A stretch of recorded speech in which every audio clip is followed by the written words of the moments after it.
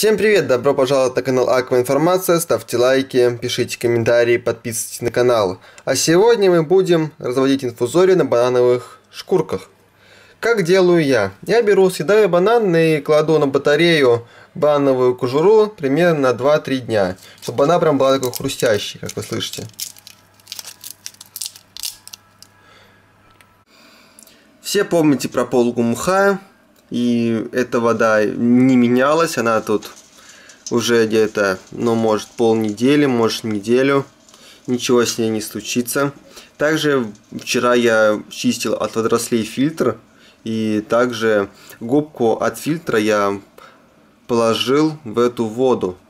И заодно и заодно надо будет почистить фильтр, промыть губку, потому что, как видите, фильтр забился и аэрация не идет. И моем хорошенько губку.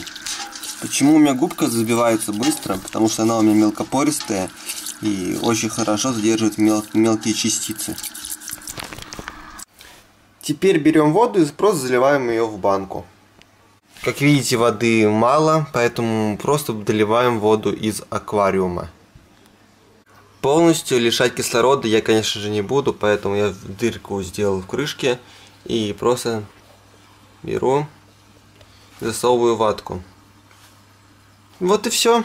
Ждем 3-4 дня, и банка будет кишить инфузорией. И мы будем этой инфузорией кормить наших мальков.